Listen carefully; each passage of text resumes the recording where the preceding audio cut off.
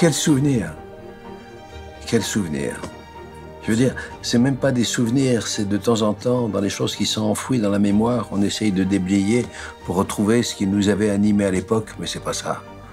Moi, je crois que ma démarche, mes réflexions, ce que je fais, tout ça, ça a été à l'école de la 317e, à l'école de Schendorfer, et je marche euh, dans la vie à la suite euh, de cette euh, formidable rencontre, de cet instant de ces instants prolongés, ça a duré quelques mois, de souvenirs là-haut, aux trois frontières, Laos, Cambodge, Vietnam.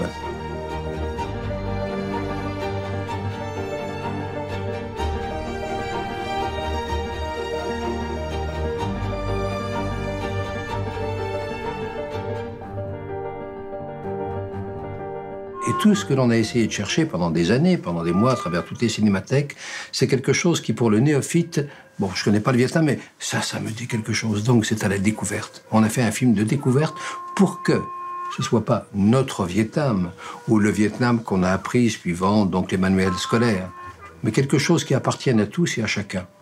C'est-à-dire que on reconnaît qu'il y a une relation particulière émotionnelle et on s'aperçoit que cette émotion, ben, elle est transmise pour plein d'autres. Et finalement, on n'est pas tout seul, mais on est plusieurs à aimer cette trace du Vietnam.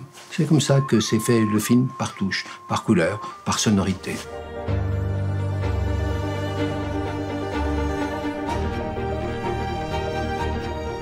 La guerre est, un, est, une réalité, aussi un prétexte pour fumer les, les hommes.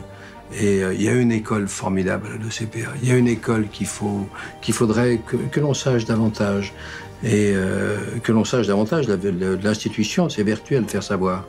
Mais euh, euh, je veux dire, c'est pas un enseignement technique, c'est un enseignement sur l'apprentissage de la vie.